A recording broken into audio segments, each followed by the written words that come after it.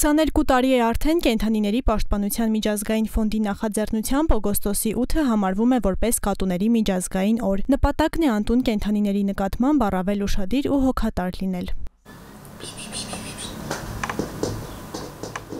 Փուսիկը կապանցի Գրիշա Պապի կատուն է։ Անունը նրա վարքով է պայմանավորված Սուսիկ Փուսիկ է։ Տիրոջ սերը կենթանիների հանդեպ վաղուց է։ Ասում է, նրանց հետ անհնար է ձանձրանալ։ Բոլորը գիտեն, թե մենք կադու ենք պահում, բայց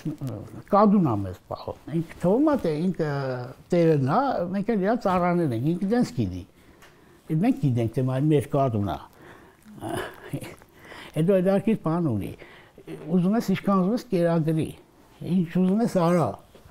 Չես կարող անենց անես, որ կադուն քեզ սիրի։ Ոչ մի ծեր չես կարող։ Ինքն է անդրում, ում սիրի, ում մոտ գնա, ում չգնա։ Խելոք մնա էլի, արա, ինչ բայդենություն ես անում, հա? Ի։ Ամոթ արա, ինձ ասեն ես ինչ անդասիրա կադուя, հա? Կատուները համարվում են շատ մաքուր կենթանիներ։ Նրանք օրական մի քանի ժամ են ծախսում իրենց մորթին խնամելու համար, ինչի շնորհիվ էլ հաճախակի լողացնելու կարիք չի զգացվում ցանկացած ժամանակ կարաս տանես այսպես նայես, անասնաբույժը նայի, չի կարող ասել, որ կազում կերնոդ է երբևից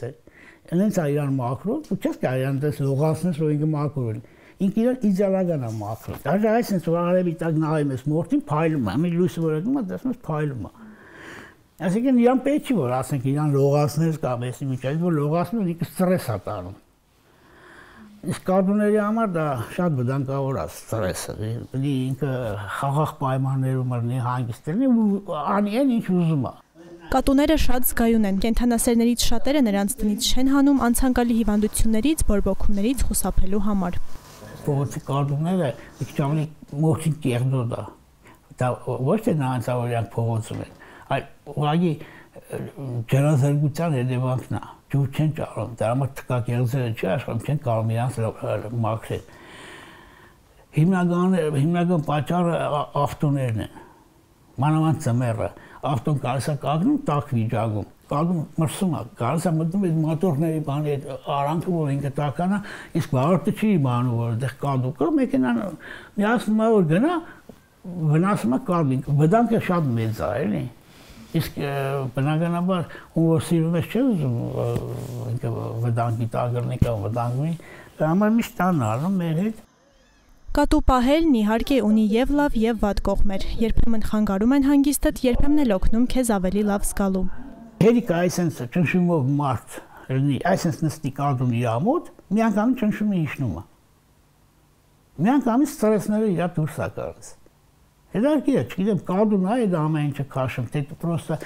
ինքն մարդն իրար ավելի լավ զգում, թե հանգիստ համայն դեպս կադուն այդ հատկությունները ունի։ Շները, ձիերը, ազնազու են, կարող է տիրոջ համար կադունել ադես։ Կադուները պատրաստ իրական գզոյի